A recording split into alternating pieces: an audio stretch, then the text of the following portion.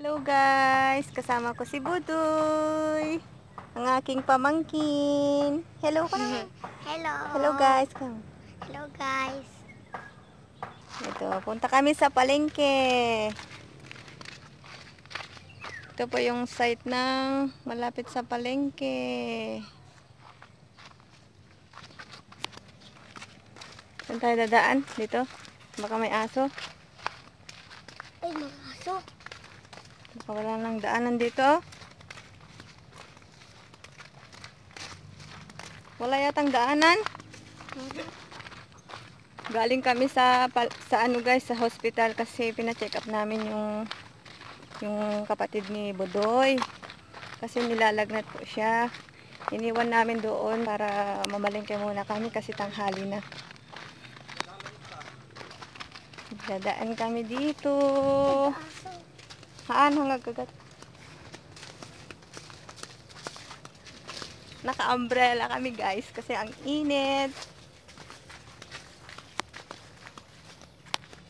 Pupunta kami sa palingke. Wow. Ayan po yung ilog. Galing sa bundok po yung tubig niyan.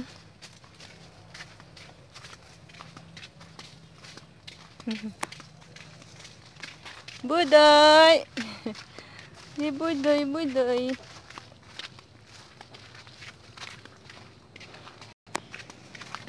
Pagod ka na, budoy? Ano? Pagod ka na? Hindi pa. Hindi pa. Mm-mm. Hindi pa daw siya Wow, may bye-bye pagod. dyan. Um, sabihin mo may bye-bye dyan. May bye-bye dyan. Hindi, dagat. Ilog yan. Ilog. Ah, ilog pala. Mm. Ay, lumi lumiligo sila dyan. Mm-mm.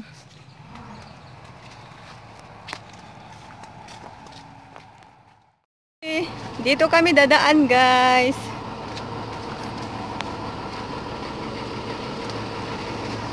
Sige, mauna ka na, Budoy. Ayan. Antayin mo ako, Budoy. Budoy.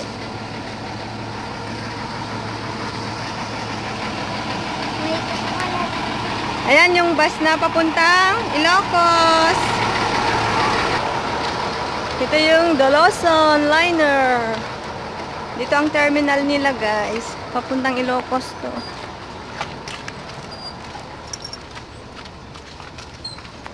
Tapos, dyan naman ang terminal ng Florida.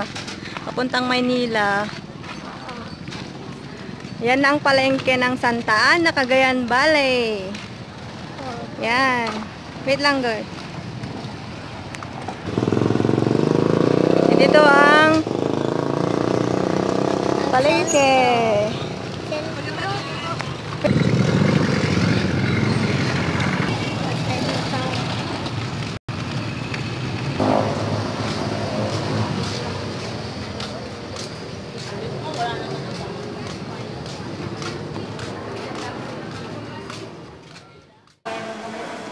Tayo ng pang-adobo.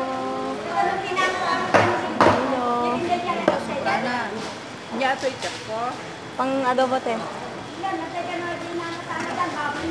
Natin kay Ate Daisy. Ano ba doy? Mamaya, no? May cutex siya, oh.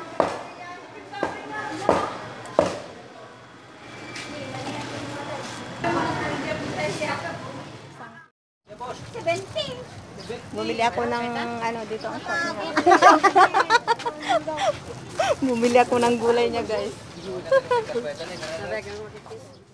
Nang bibingka, guys. Siya, oh. Suman. Suman yan, te. Ay, patupat. Ikan, te. Nang gusto ni Budoy. Ante niya na, gana dito ay? Suman na, malaki. Ah, tara na, uwi na tayo.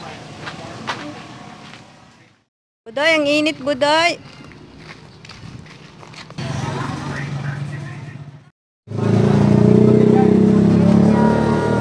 Doon kami sa terminal. Nakupuntang San Vicente. Ayan si Budoy.